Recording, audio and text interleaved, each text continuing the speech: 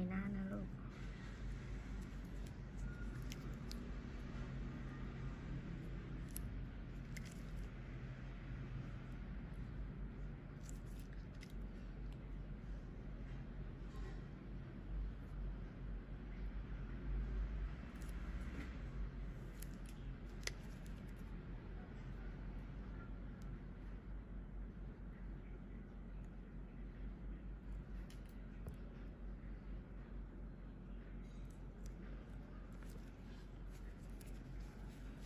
ในหน้านะลูกเห็นไหม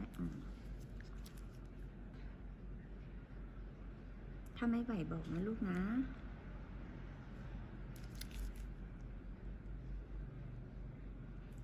ตั้งแต่พี่กุ้งกดมานะคะ เพิ่งมีน้องเป็นผู้หญิงเคสแรก ที่เป็นสิวแบบนี้ส่วนมากจะเจอแต่เคสของผู้ชายนะคะ